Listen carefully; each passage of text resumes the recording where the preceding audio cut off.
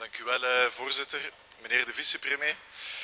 Bart Wever is in uh, New York uh, samen met een cameraploeg of zeven. En de Vlaming kan elke dag meegenieten van zijn reisdagboek.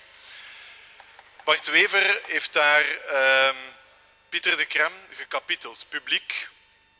Hij heeft openlijk de vraag gesteld of het eigenlijk wel nuttig is, de job van Pieter de Krem, de job van staatssecretaris voor buitenlandse handel.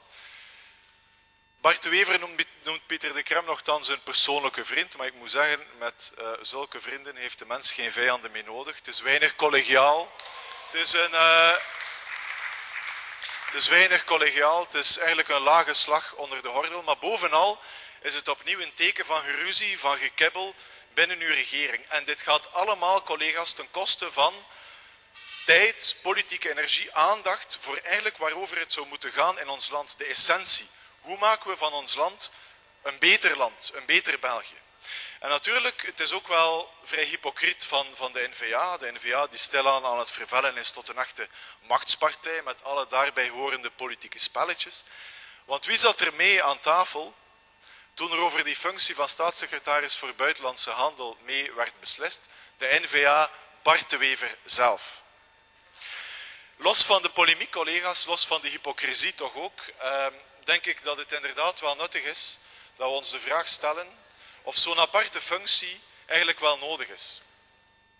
Want wij willen vandaag aan u het voorstel doen, Groen en Ecolo samen, een constructief positief voorstel, om buitenlandse handel opnieuw te koppelen aan buitenlandse zaken. Zoals eigenlijk vroeger altijd het geval is geweest. Want dat heeft twee enorme voordelen. Eén, het is een efficiëntiewinst. Het kabinet de Krem, collega's, kost 4.300 euro per dag. Dus we kunnen daar besparen, dat zou goed zijn. En twee, het zou ons ook toelaten om een coherenter, sterker mensenrechtenbeleid te voeren. Want Pieter de Krem zit op een eiland, buitenlandse handel. Hij heeft zelf ook te kennen dat hij in de pers ja, eigenlijk weinig met mensenrechten te maken heeft. Integreren dat in één figuur, buitenlandse zaken. En dan kunnen we tenminste meer ethiek steken in ons buitenlands handelsbeleid. Dank u meneer De Vriend. Meneer de minister. Meneer eh, de voorzitter, beste collega's. voor eerst hoop ik dat eh, niet elke keer dat iemand op reis gaat u mij vragen stelt. Maar ik wil toch een aantal dingen heel duidelijk eh, antwoorden op de vragen. Ten eerste, voor deze federale regering is het van essentieel belang dat wij alles doen om de economische activiteit in België te stimuleren en buitenlandse investeringen aan te trekken. En ik hoop dat ook iedereen meerderheid en oppositie het daarmee eens is.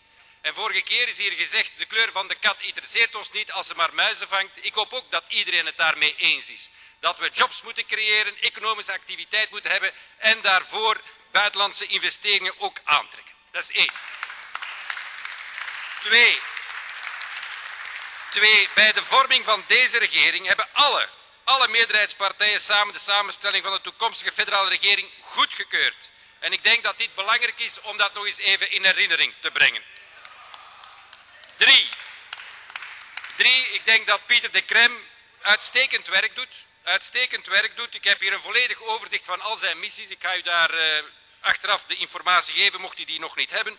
Maar nog belangrijker, beste collega's, is de beleidsverklaring die hij heeft afgelegd, ook hier in dit parlement. En ik citeer, de opdracht van de staatssecretaris voor Buitenlandse Handel is om via een inclusieve aanpak en in belang van onze economische groei en welvaartsbevordering de bedrijven maximaal bij te staan. En nu, meneer De Winter, moet u goed luisteren.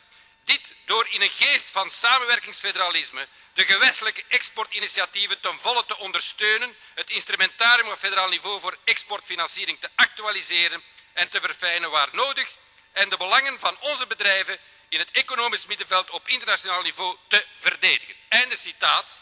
En dat is wat Pieter de Krem nu doet. En ik wil afsluiten, meneer de voorzitter.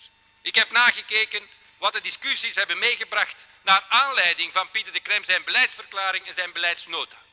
Ik hoop dat u dat ook gedaan hebt. En weet u hoeveel tussenkomsten er zijn geweest? Ook eh, de collega's van Groen.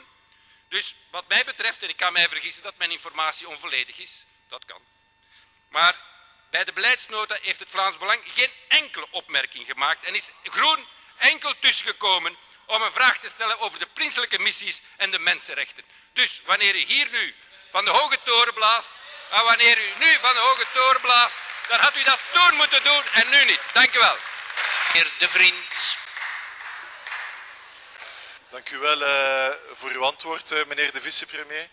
Uh, wij hebben deze vraag gericht aan de eerste minister, dus ik ga ervan uit dat u in naam van de ganse regering spreekt. En in die zin hebt u ook duidelijk de voorzitter van de grootste partij in Vlaanderen teruggefloten. Het is alleen spijtig dat we nu al weten dat dat niet de laatste keer zal zijn. Deze regering verliest zich meer en meer in dergelijk gekebbel. En blijkbaar gaat het nu ook van de ene kant van de oceaan naar de andere kant van de oceaan. Dus niks houdt u werkelijk tegen. En twee, ehm, het feit dat er zo weinig gedebatteerd wordt over het beleid van Pieter de Krem, meneer de vicepremier, heeft natuurlijk misschien wel als reden dat dat beleid weinig om handen heeft. En dat het effectief beter is om buitenlandse handel te integreren binnen buitenlandse zaken. En inderdaad, wij zijn tussengekomen over de mensenrechten. Gelukkig zijn wij tussengekomen over de mensenrechten. Want België verdient een ethisch buitenlands handelsbeleid. Vandaar dat wij niet begrijpen dat u niet wil ingaan op onze suggestie om ten eerste te besparen. 4.300 euro per dag kost het kabinet de Krem.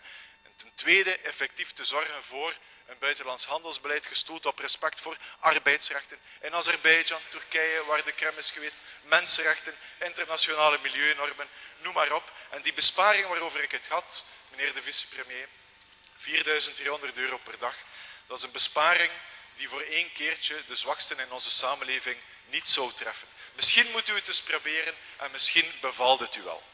Dank u, meneer De Vriend.